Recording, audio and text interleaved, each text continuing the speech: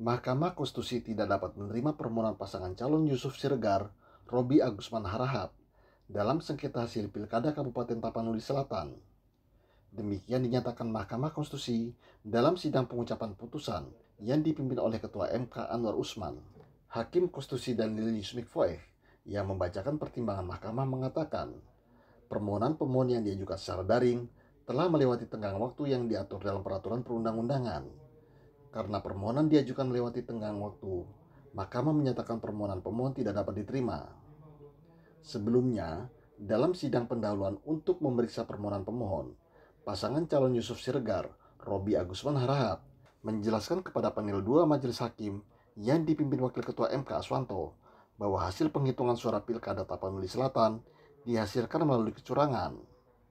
Menurut pemohon, pasangan calon Doli Putra Perlindungan Pasaribu, Rashid Asaf Dongoran, telah melakukan pengerahan aparatur sipil negara dan terjadi sejak awal kampanye.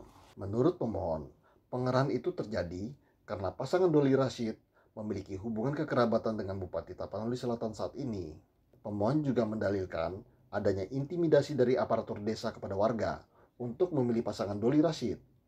Terhadap persoalan itu, pemohon mengaku telah membuat laporan kepada Bawaslu namun tidak ditindaklanjuti. Ilham Riyadi, Hamdi, MKTV News melaporkan.